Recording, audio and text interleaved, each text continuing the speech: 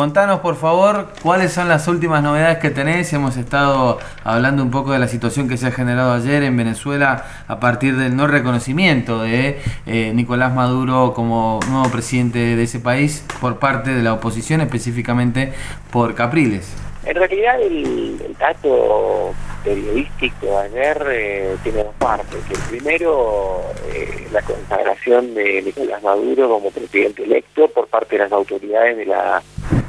Comisión Nacional Electoral. Ese dato es eh, que quiere el formal, el que sirve para que uno puede imaginar el escenario del próximo día viernes, digamos, cómo, eh, de qué manera Nicolás Maduro tendrá que curarse desde la Asamblea Nacional, este, ya con la consagración correspondiente que este, necesitaba de la autoridad electoral. Para eso necesito que, digamos, el Consejo eh, electoral que avalara este, eh, primero eh, su, nominación, es decir, que se el recuento definitivo, que se, que consultara con las autoridades de los distintos centros de observación que llegaron, que también avalaron esta situación, digamos, negando de alguna manera este, el pedido de Enrique Capriles de que se contara el 100% de los votos disputados de manera manual este, y de esa forma este, se realizó este, un acto formal de celebración y Nicolás Maduro hizo un discurso posteriormente. Fuera de ese lugar, que es en el centro de Caracas, la sede de la CNE, está la Plaza Caracas. Ahí hubo una concentración muy importante de gente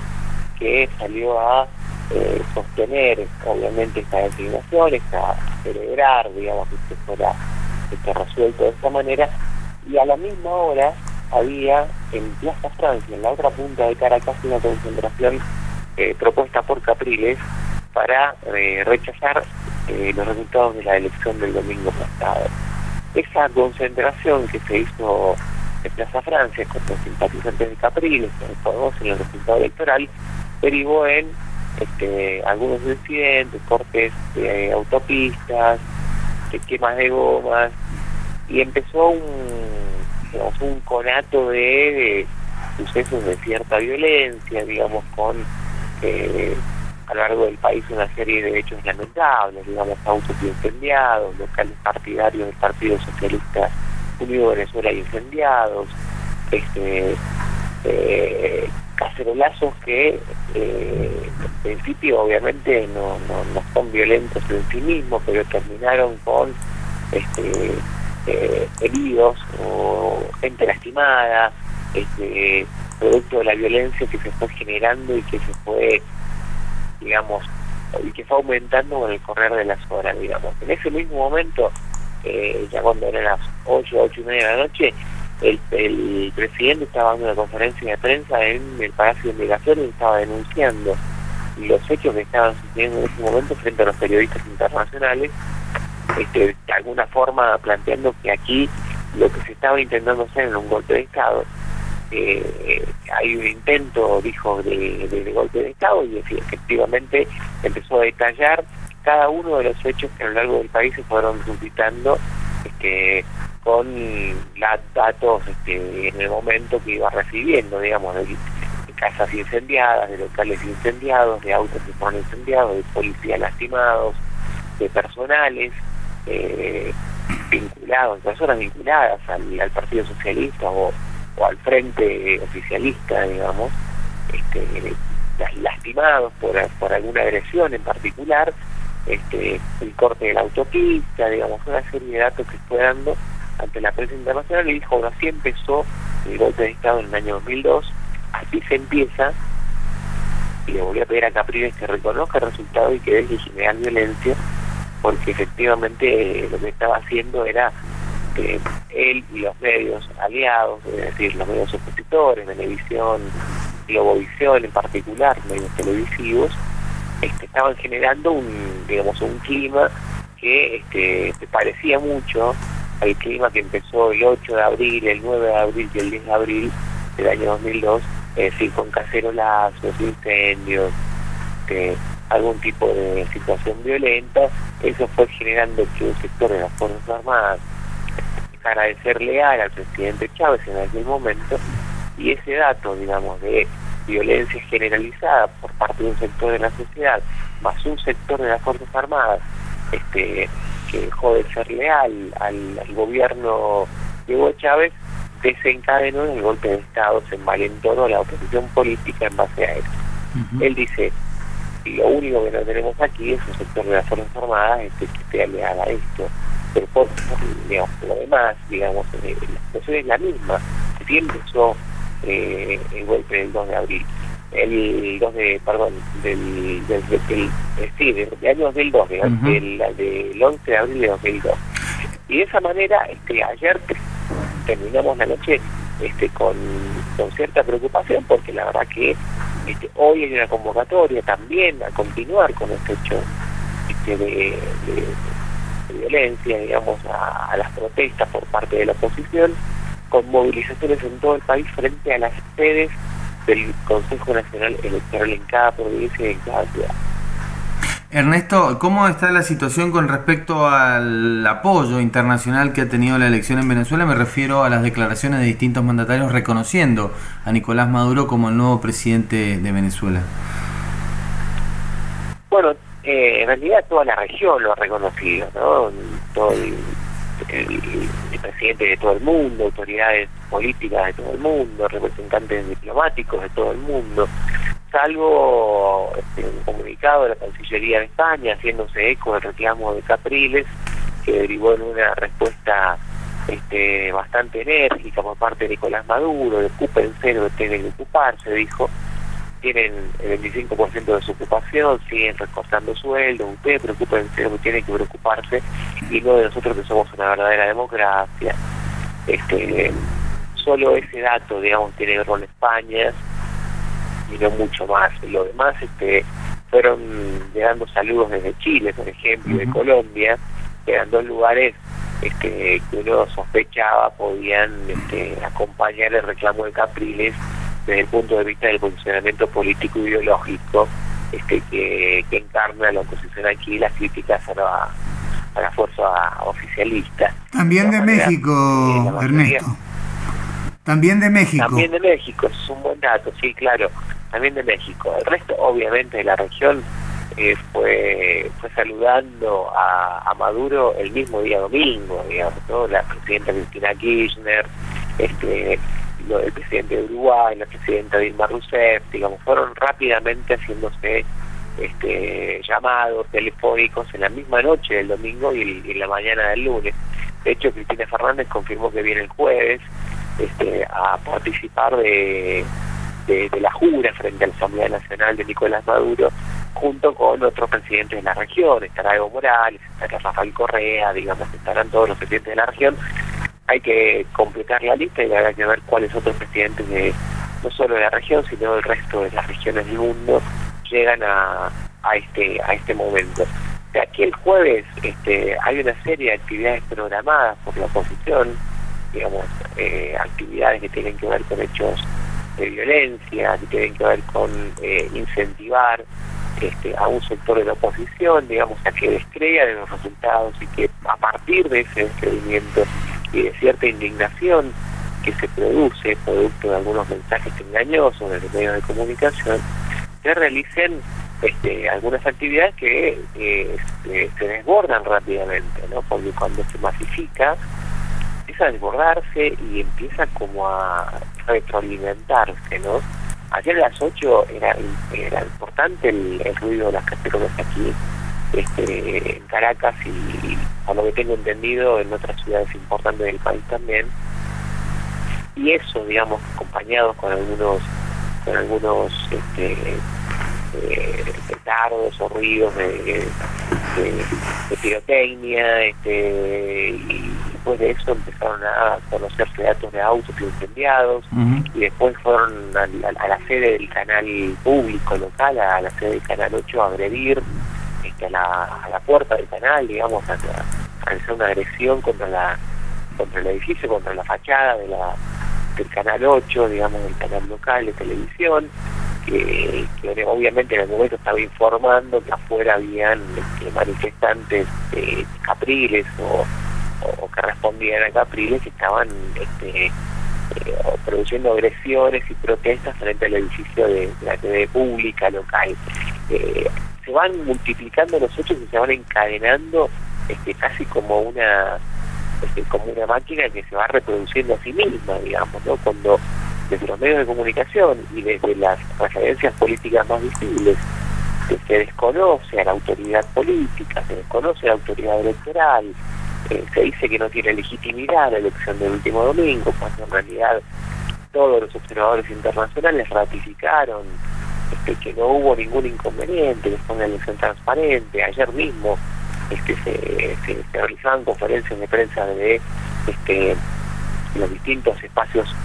que participaron con sus observadores y acompañantes internacionales ratificando el resultado del domingo y ratificando además lo resuelto finalmente por el Consejo Nacional Electoral. Ernesto, eh, ¿vas a permanecer en Caracas, Venezuela, a la espera de la llegada de la presidenta Cristina Fernández y la asunción de Nicolás Maduro el próximo viernes? Sí, hasta hasta el viernes este, que, se produce el, el, acto de juramento de Nicolás Maduro frente a la Asamblea Nacional, ahí se completa, digamos, la este,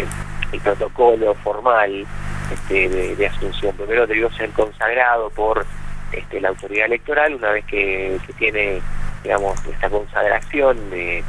de, uno de esos poderes de la República, otro de los poderes de la República le toma juramento, que es el Parlamento, digamos, este, venezolano, que antes se llamaba Congreso Nacional y luego de la reforma del año 99 se llama eh, autoridad, eh, sí, Asamblea Nacional, perdón, este, que es este, hoy presidida por Diosdado Cabello, uno de los hombres fuertes de la revolución, este, que tiene alto predicamento en, un sector importante de las Fuerzas Armadas, este, y que es clave hoy en, digamos, en el sostenimiento del proyecto bolivariano, digamos, más allá de el respeto por la democracia, más allá de el respeto institucional, hoy es muy importante la lealtad de las Fuerzas Armadas Nacionales de, Bolivarianas por el hecho de, este, de, no sumarse este, a, a, esta, a situación de violencia provocada, digamos, fundamentalmente por los medios opositores. Que un sector, digamos, se, sumara, eh, algo que no, que no aparece en el horizonte, digamos, por lo menos cercano, este, estaríamos en una situación mucho más complicada ¿no? y mucho más parecida a lo que ocurría en 2002. Ernesto, eh, muy brevemente, porque eh, de verdad hemos hablado bastante del tema y lo tuyo ha sido sumamente elocuente. Me gustaría que eh, repasaras, te repito brevemente, porque ya lo hicimos acá, pero es fundamental,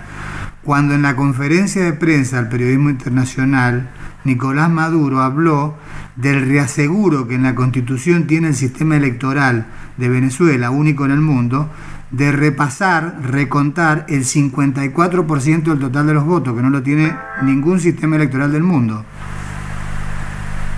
Claro, dentro del, digamos, del marco constitucional de, lo que es la ley electoral venezolana, se prevé que el, recuento necesario para para validar el dato que efectivamente se recoge de, las máquinas, del sistema informatizado que tiene, tiene Venezuela, digamos, para el traslado de los datos que, se producen luego de la votación electrónica, eh, se produjo un recuento, o sea, se autorizó la, digamos, el recuento del 54%. En realidad es una muestra más que suficiente, y dijo el propio Nicolás Maduro, este, triplica o quintuplica o este, digamos lo necesario para determinar este, la veracidad de los datos, digamos, como si fuera necesario, digamos, porque dijo además, un 10% de recuento ya es muestra suficiente, un 20% también. Nosotros eh, tenemos un recuento del 54%, y un recuento que no es necesario además, ¿no? Porque por el propio sistema electoral electrónico, eh, no es como en, en, Argentina, digamos que hay que revisar este, desde las actas firmadas por los fiscales y las autoridades de mesa, este, los eh, votos que se corresponden en cada una de las urnas, cada vez que hay alguna duda, digamos, se produce finalmente un recuento manual. Bueno, aquí este, el recuento manual es eh, muy importante, el 54% de los piquecitos que salen de la máquina, digamos, cuando uno este, se, apresta a votar. Termina de votar, aparece un ticket, ese ticket lo deposita en una urna. La idea es este, de Capriles, es que se recuente el 100% de esos tickets para ver si hay una correlación eh, exacta entre lo que dicen estos tickets y lo que aparece en el resultado que da la Comisión Nacional Electoral. Eh, uno de los rectores, uno de los cinco rectores que componen la autoridad electoral, estuvo de acuerdo con el recuento del 100% de los votos. El resto de los rectores no. Y este rector no lo dijo en términos de eh, el resultado está mal. Dijo, bueno, para que se queden tranquilos, yo sé que el resultado es este, que no hay ningún problema que recontemos. El resto de los rectores dijo, esto es un capricho que este, excede los límites que lo establecido por la propia Constitución. Estamos este, nosotros atendiendo este, cualquier reclamo, pero este, ninguno se puede exceder de los límites que establece la Constitución. Y la Constitución, en su apartado electoral, sostiene que con el 50, perdón, como el 54% del recuento hay más que eh, prueba suficiente, este, hay más que auditoría suficiente, este, porque con una muestra del 10, incluso el propio Maduro ayer explicaba que alcanzaba y sobraba como para, para que se este, constatara el resultado. El propio Hugo Chávez se perdió el por muy poco este, y no, no pidió un recuento este, manual y total. Eh, la elección de Miranda, por ejemplo, el, estado donde gobierna Capriles, en la última elección, eh, Capriles le gana a Arias Jagua por un, punto y medio también. Y el gobierno no pidió, digamos, el, digamos, el partido este, bolivariano o el partido bolivariano no pidió que se contaran los votos de Miranda este, porque había este, muy poca diferencia entre el candidato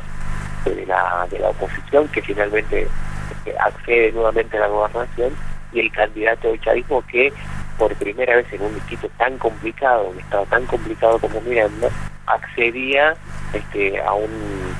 a una posibilidad de quedarse con ese, ese estado, digamos, a gobernar ese estado históricamente gobernado por la oposición, es uno de los pocos de concentración del bloque opositor del Estado de Miranda, ¿no? Pero así las cosas, ¿no? Y las autoridades, perdón, observadores internacionales validaron que no se necesitaba este, el, el 100% del recuento para, para validar el resultado electoral. Todos los observadores internacionales que participaron dieron posteriormente una conferencia de prensa avalando lo resuelto finalmente por el Consejo Nacional Electoral que devino en la consagración de Nicolás Maduro como candidato electo y en el discurso de Maduro que primero se eh, realizó en el Consejo Nacional Electoral y luego con periodistas internacionales este, y algunos periodistas nacionales en el Palacio de Miraflores. Muchísimas gracias Ernesto, retomamos cuando vos lo consideres pertinente. Un abrazo grande. Un abrazo para todos allá.